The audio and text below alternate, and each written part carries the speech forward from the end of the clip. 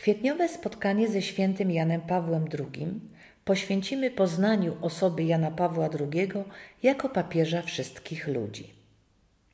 Przypomnieć należy fakt, że pierwsza encyklika Jana Pawła II nosiła tytuł Redemptor hominis Odkupiciel człowieka.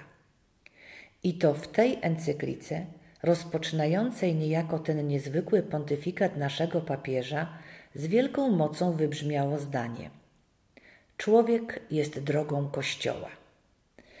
Możemy powiedzieć, że stwierdzenie to wytyczyło kierunek 27-letniego pontyfikatu świętego Jana Pawła II.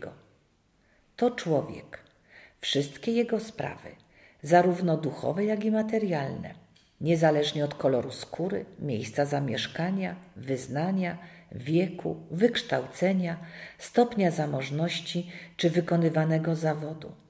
To człowiek stanowił centrum zadań Kościoła i nieustannej troski papieża Polaka.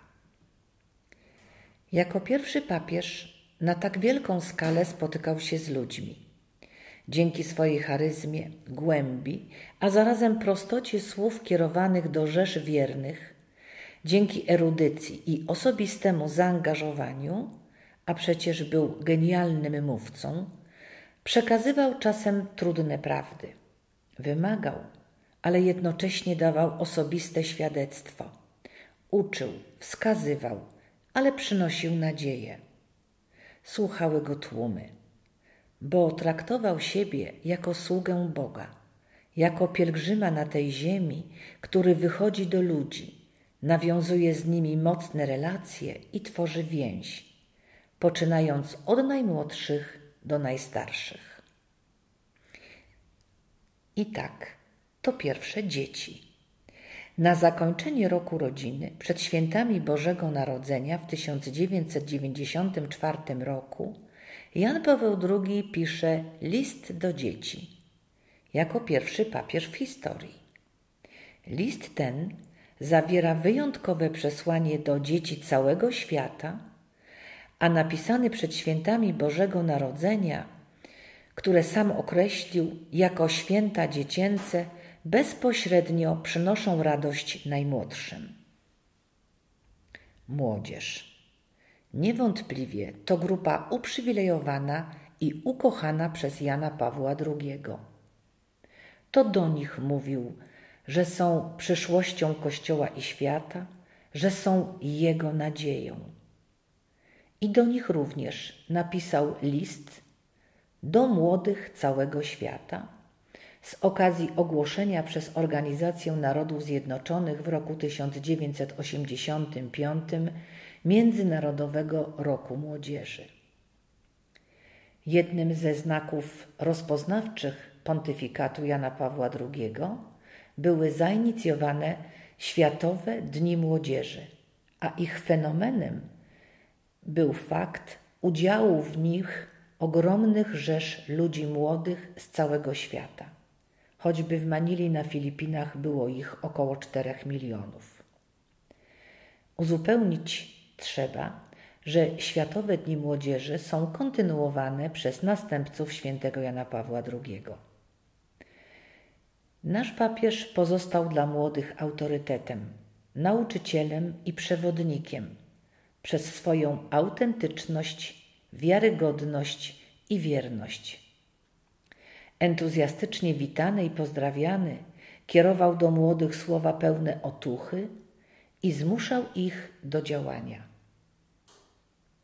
Musimy zapamiętać, że Jana Pawła II i młodych łączyła szczególna więź.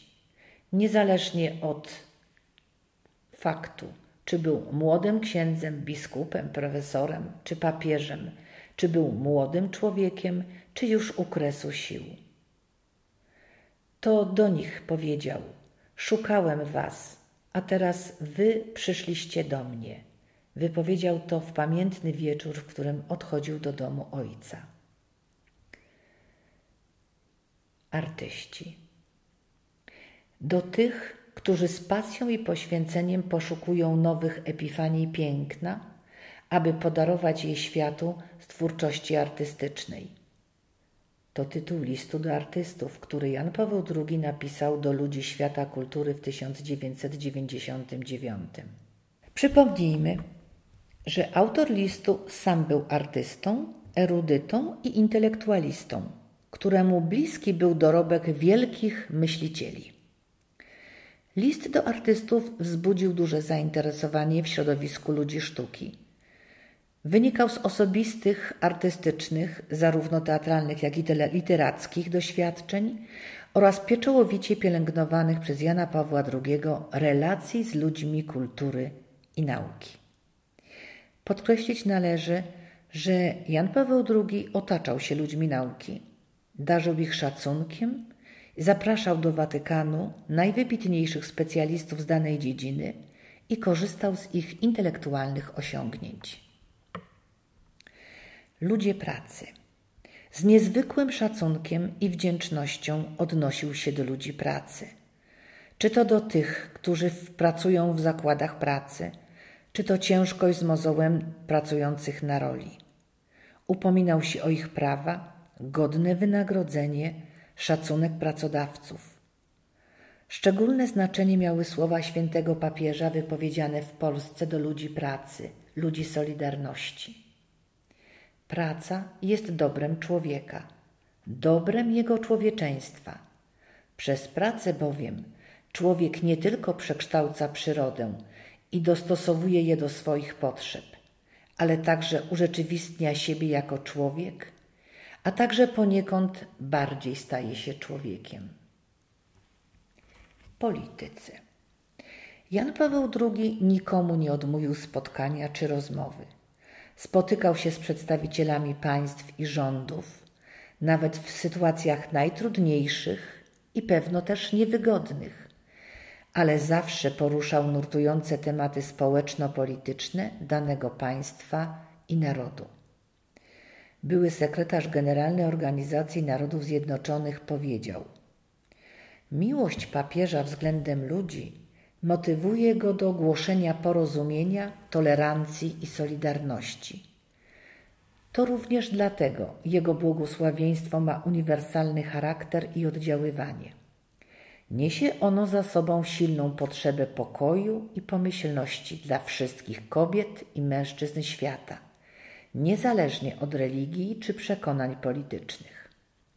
Jan Paweł II to prawdziwy apostoł pokoju. Kobiety. Wśród listów napisanych do poszczególnych grup społecznych niezwykły był także list do kobiet opublikowany w 1995 roku. Nosił on tytuł O godności i powołaniu kobiety.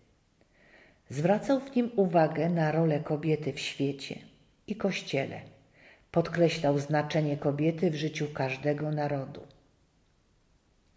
Kościół składa dzięki za wszystkie przejawy kobiecego geniuszu w ciągu dziejów, pośród wszystkich ludów i narodów, pisał w liście. Rodziny. Fundamentalną rolę w życiu każdego narodu przypisywał rodzinie. Również do rodzin wystosował specjalny list, w którym pisał o tym, że rodzina Bogiem silna staje się siłą człowieka i całego narodu. O roli rodziny mówiliśmy na spotkaniu grudniowym. Chorzy, samotni, cierpiący. Ojciec Święty, ustanawiając Światowy Dzień Chorego 11 lutego, uświadomił nam wszystkim, nie tylko ludziom chorym, o kruchości ludzkiego ciała, że sens cierpienia w kategoriach ludzkich nie jest możliwy do zrozumienia i człowiekowi nie pozostaje nic innego, jak wobec majestatu choroby z pokorą zwrócić się do lekarza ciał i dusz, jakim jest Chrystus. Cierpienie i choroba są częścią tajemnicy człowieka na ziemi, mówił papież. Pragnę, aby ta wzruszająca koncelebra była dla wszystkich chorych i zdrowych okazją do zastanowienia się nad zbawczą mocą cierpienia. I z kolejnym listem zwrócił się święty papież do braci i sióstr ludzi w podeszłym wieku. O dolegliwościach i problemach człowieka w podeszłym wieku pisał człowiek, który sam doświadcza różnorakich trudności związanych z wiekiem, przebytymi chorobami i własną niedołężnością. Ludzie chorzy, dotknięci kalectwem i różnego rodzaju wykluczeniem byli bliscy duchowo Janowi Pawłowi II. Polecał ich krzyże Chrystusowi cierpiącemu, ale i zawsze prosił ich o ofiarowanie swoich cierpień w intencji Kościoła i świata. Nadmienić należy, że do głębi poruszony ubóstwem podczas jednej z pielgrzymek do Brazylii założył na terenie Watykanu dom dla ubogich, prowadzony przez siostry ze Zgromadzenia Sióstr Matki Teresy z Kalkuty. Kapłani i osoby konsekrowane. Drodzy bracia kapłani, tak rozpoczynał listy do kapłanów na Wielki Czwartek święty Jan Paweł II. Tych listów napisał kilkanaście. Rozważał w nich tajemnice kapłaństwa, kapłaństwa, które jest darem, darem wymagającym. Pisał o dążeniu do świętości, o wymaganiu wobec siebie, o służeniu Kościołowi i światu i każdemu człowiekowi. Nieustannie polecał kapłanów i ich powołanie najwyższemu kapłanowi. Sam zaś prosił każdego z nich o modlitwę. Ogromną rolę przypisywał zakonom żeńskim. I to im powierzał, oprócz ważnych zadań, jakie pełnią w społeczeństwach na całym świecie, modlitewną troskę za Kościół i świat. Reasumując, ten papież z dalekiego kraju, jak sam o sobie powiedział na placu Świętego Piotra, ten papież stał się papieżem bliskim wszystkim ludziom, bez względu na pochodzenie, kolor skóry, powołanie, stan majątkowy czy wykonywaną profesję. Gdy przemawiał do nas, to tak, jakby mówił do każdego z osobna, z ogromnym szacunkiem, troską i miłością. Takim zapamiętamy Jana Pawła II, świętego, świętego papieża wszystkich nas.